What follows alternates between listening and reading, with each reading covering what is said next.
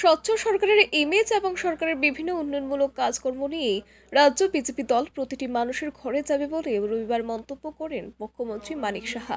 বিজেপির প্রতি ঘর চলো অভিযান উপলক্ষে আট টাউন বর্দোয়ালি মন্ডলের উদ্যোগে আয়োজিত বিশাল র্যালিতে অংশগ্রহণ করেন সংবাদ মাধ্যমের কাছে দেওয়া প্রক্রিয়ায় এই কথাই বলেন মুখ্যমন্ত্রী মানিক সাহা। র্যালিতে উপস্থিত ছিলেন মেয়র দীপক মজুমদার এবং মণ্ডল সভাপতি সহ সাংগঠনিক সর্বস্তরের কর্মকর্তারা। ঘর ঘর চলো অভিযান নিয়ে মুখ্যমন্ত্রী বলেন স্বচ্ছ সরকারের ভাবমূর্তি এবং মানুষের উন্নয়নে রাজ্য সরকার কি কি কাজ করছে সেই রিপোর্ট কার্ড নিয়েই দল মানুষের কাছে যাবে घर घर अभियान का हमारा तो मकसद यही है हंड्रेड परसेंट हमारा त्रिपुरावासी जो है ये बीजेपी जो लेड हमारा सरकार चल रहा है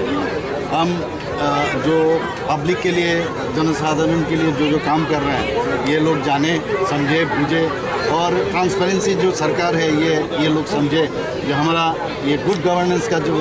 गवर्नमेंट चल रहा है, ये लेके हम सबके सामने जाएँगे। और ख़ास करके जो नशा मुक्त त्रिपुरा हम लोग कह रहे हैं, इस चीज़ को लेके हम लोग क्या क्या कर रहे हैं और इस चीज़ को लेके भी हम आज का जो घर घर बीजेपी ये चीज़ लेके हम लोग सबके घर में आ जाएंगे স্যার আজকে ষাটটি বিধানসভায় আহ, রিপোর্ট কার্ড পেশ করা হবে এই যে রিপোর্ট কার্ড পেশ করানো এটা কি এক ধরনের বলা যেতে পারে প্রচারের মাধ্যম নাকি আহ, সরকারের উন্নয়নমূলক কাজের তুলে ধরা প্রচার তো করতেই হবে কারণ আপনারা জানেন দু হাজার তেইশ যে আমাদের মিশন ইলেকশন আসছে আহ, খুব সম্ভব ফেব্রুয়ারিতেই হবে যদি ধরা যাক আমি জানি না ঠিক তো সেই দিশায় আমরা কাজ করছি কিছুদিন আগে আমাদের আহ, প্রতি আহ, সমস্ত আমাদের যে বুথ চলো অভিযান, সেটা আমাদের সম্পন্ন হয়েছে এবং সাকসেসফুল হয়েছে। এখন আমরা হর ঘর বিজেপি, প্রতি ঘরে বিজেপি। আমাদের প্রতিটা ঘরে আমাদের ঢুকতে হবে এবং অনেকে যারা হাউস হোল্ড আছে, তাদের, আমাদের eight point five house hold আছে সারা ত্রিপুরাতে। তাদের কাছে আমরা বলব যে ত্রিপুরা সরকার এবং আমাদের ভারতীয় জনতা পার্টির যে সরকার,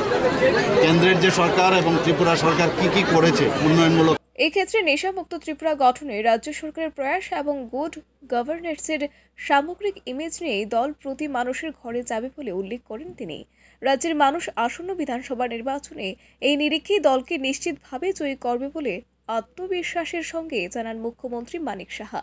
উল্লেখ্য, রবিবার থেকে সাত দিনব্যাপী ঘর ঘর চলো অভিযান কর্মসূচি শুরু করেছে রাজ্য বিজেপি। রাজ্যের ষাটটি বিধানসভা কেন্দ্রেই চলবে এই কর্মসূচি। ফিওর রিপোর্ট, আর ই নিউজ।